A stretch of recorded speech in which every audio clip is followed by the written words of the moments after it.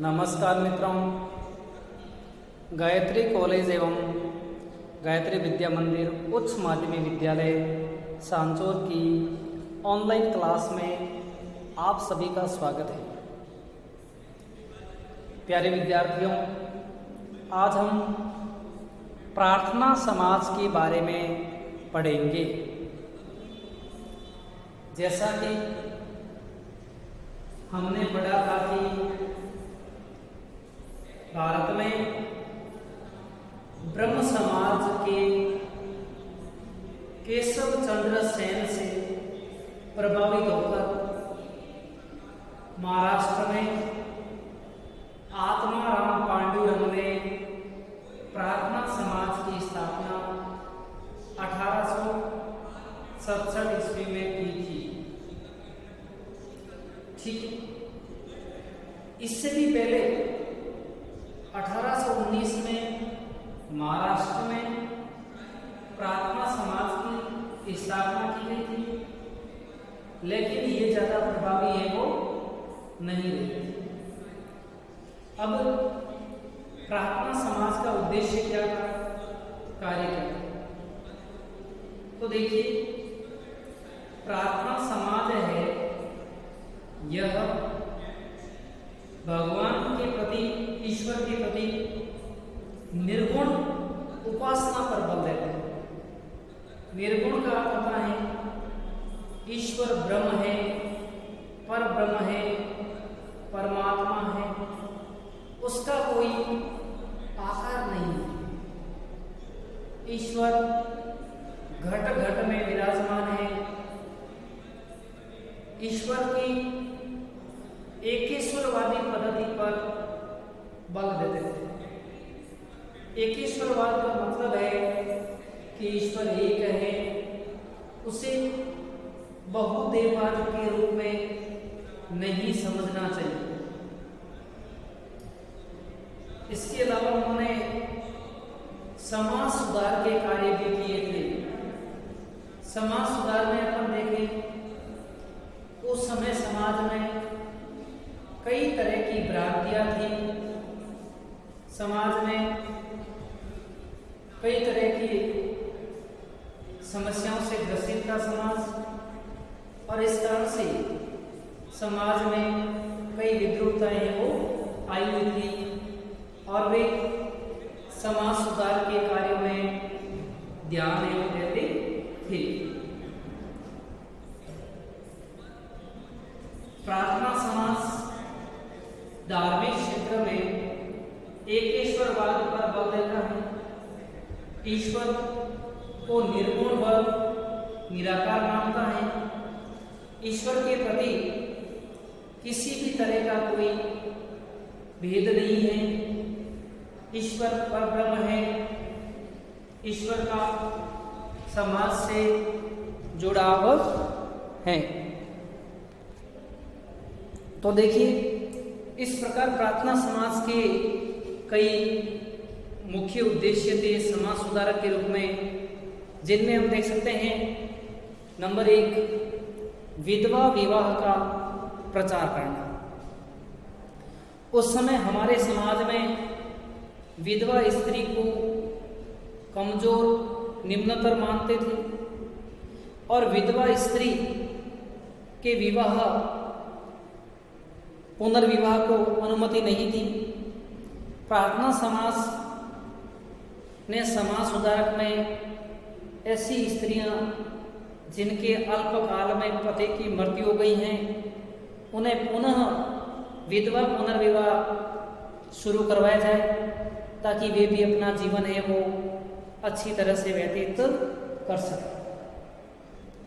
प्राचीन काल में विधवा स्त्रियों को शान सौकात से दूर रहकर एक हेयपूर्ण, दुखपूर्ण जीवन यापन करना पड़ता था। इस कारण से प्रार्थना समाज ने विधवा पुनर्विवाह को शुरू करवाया था। दूसरा, जाति प्रथा को अस्वीकार करना। अर्थात प्रार्थना समाज समाज के तमाम वेदों का विरोध करता था। जाति प्रथा का विरोधी था। ऊंच नीच के भेदभाव के पक्ष में नहीं था। कोई जन्म से श्रेष्ठ और जन्म से कमज़ोर ऐसा नहीं मानते थे। अर्थात जाति प्रथा को है वो, अस्वीकार है वो किया गया था। तीसरा है स्त्री शिक्षा को प्रोत्साहन। अर्थात प्रार्थना समाज स्त्रियों की शिक्षा को बढ़ावा देता है। स्त्रियों की शिक्षा प्रार्थना समाज के माध्यम से ही बढ़ाई गई थी। महाराष्ट्र में स्त्रियों को भी पुरुषों के समान शिक्षा प्राप्त करने का अधिकार था। आगे हैं, बाल विवाह पर रोकथाम। पहले हमारे समाज में छोटे छोटे बच्चों की शादियाँ, विवाह कर दिए जाते थे। जो उम्र खेलने कूदने की होती थी, उस उम्र में घर की जिम्मेदारियों का बोझ आ जाता था। वे पूर्ण रूप से विकसित भी नहीं हो पाते थे। इस कारण से प्रार्थना समाज ने महाराष्ट्र में बाल विवाह पर रोकथाम का कार्य किया अगला है विवेकपूर्ण उपासना। प्रार्थना समाज का मानना था कि हमें आँख मूंद कर कोई गलत या अंधविश्वास व आडंबर युक्त उपासना नहीं करनी चाहिए। हमें हमेशा अपने विवेक माइंड से सोचकर ही कार्य करना चाहिए। उपासना करनी चाहिए। बहुदेववाद पर ध्यान न देकर, एकेश्वरवाद पर ध्यान देना चाहिए। ये प्रार्थना समाज कहता है। इसके अलावा समाज में और भी बहुत सारी कुरीतियाँ थी। समाज कई तरह की कुरीतियों से अटा पड़ा था। कई समाज में से वर्ण थे, जिनका समाज में हियतम स्थान था।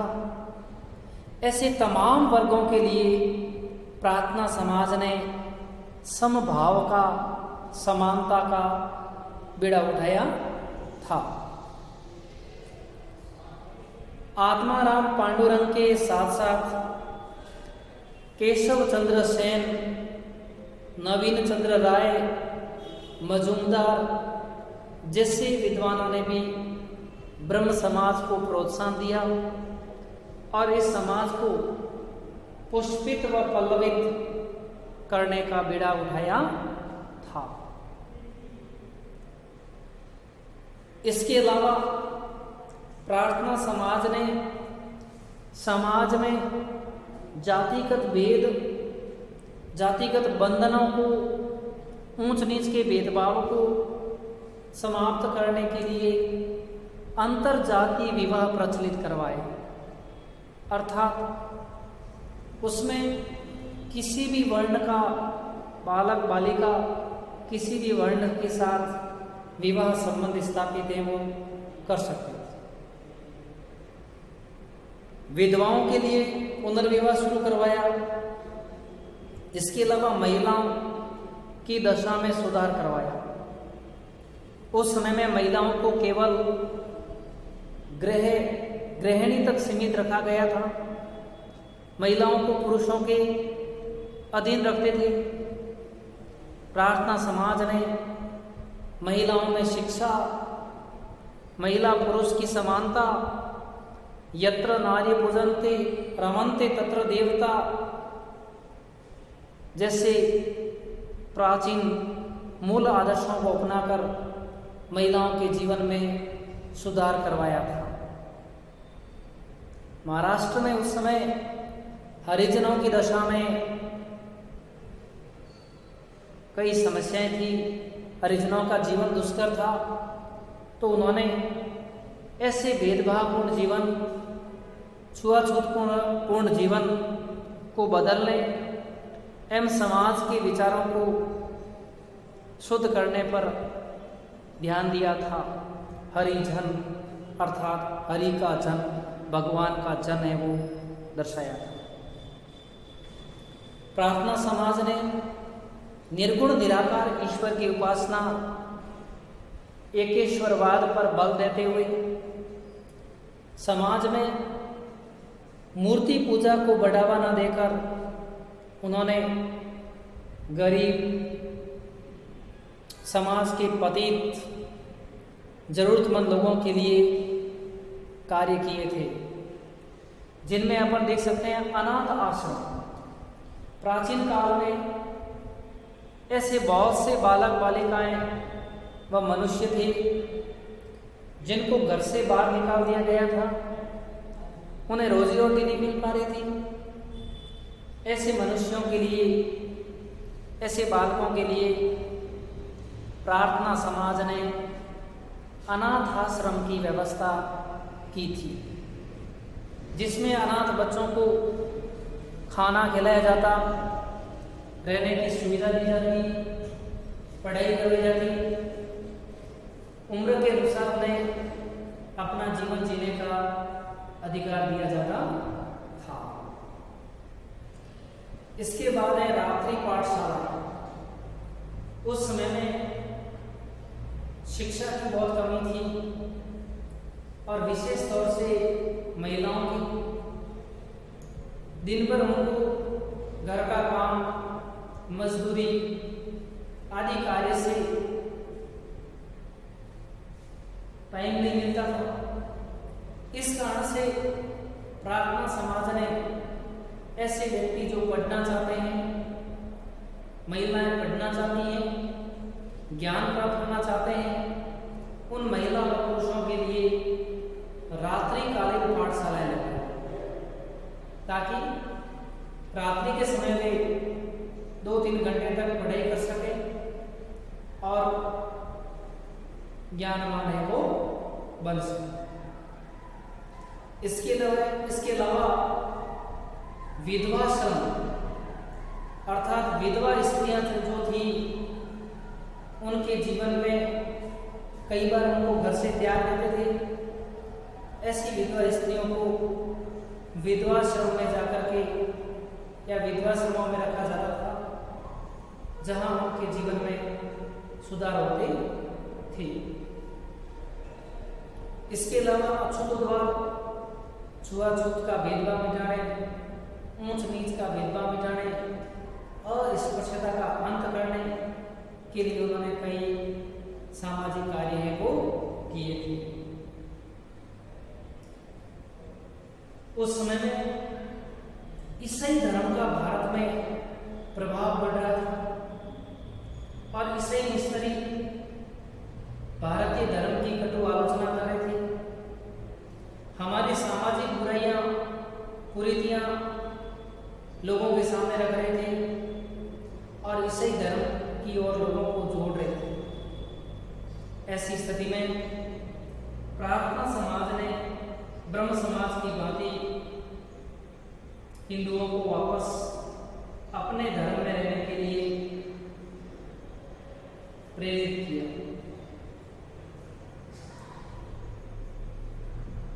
और महादेव गोविंद रानाडे जी जो थे उन्होंने इस प्रार्थना समाज को प्रसिद्धि दिलाने फलाने फुलाने में महत्वपूर्ण योगदान है वो दिया था राणा जी ने अपना पूरा जीवन प्रार्थना समाज के उद्देश्यों के लिए लगा दिया और उन्होंने समाज सुधार के लिए पूर्ण रूप से कार्य किया और इसी का नतीजा अठारह ईस्वी में दक्कन एजुकेशन सोसाइटी तथा विधवा विवाह संघ की स्थापना हुई थी उनके अथक प्रयासों से भारतीय समाज को एक नई दिशा मिली और उनका पश्चिम जगत से जुड़ा होने के बावजूद भी भारतीय संस्कृति में विश्वास प्रार्थना समाज ने वो कार्य किया जो ब्रह्म समाज ने, बंगाल में किया था और वही कार्य प्रार्थना समाज ने महाराष्ट्र में। किया अर्थात, ब्रह्म समाज और प्रार्थना समाज, ये दोनों ही समाज, पाश्चात्य विचारों का परिणाम और पाश्चात्य विवेकशीलों के प्रति, भारतीय प्रतिक्रिया का फल था। अर्थात जो पश्चिमी संस्कृति, पश्चिमी शिक्षा का जो प्रभाव था, उस प्रभाव से मुक्त होना और हमारी संस्कृति को वापस श्रेष्ठता दिलवाना था। हमारे धर्म में आई हुई कुरीतियों को दूर करवाकर प्रार्थना समाज ने भी समाज को एक नई दिशा प्रदान की थी। Thank you